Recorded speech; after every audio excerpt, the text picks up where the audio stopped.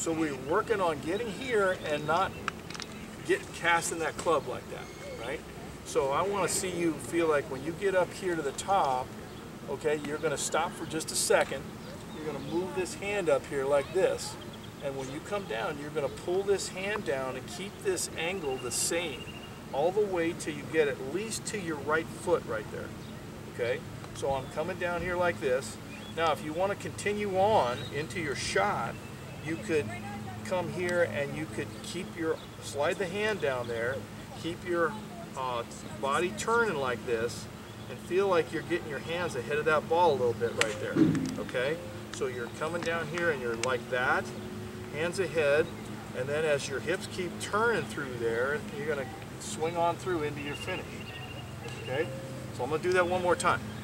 You're gonna swing back up here, you're gonna move that hand up here, then you're going to come right down here like this till you get to your right foot. Your hips have kind of started your back, your forward swing here. And now you're here. Now we're going to slide that hand down. Keep those hands ahead of that ball when you hit it, and then into your finish.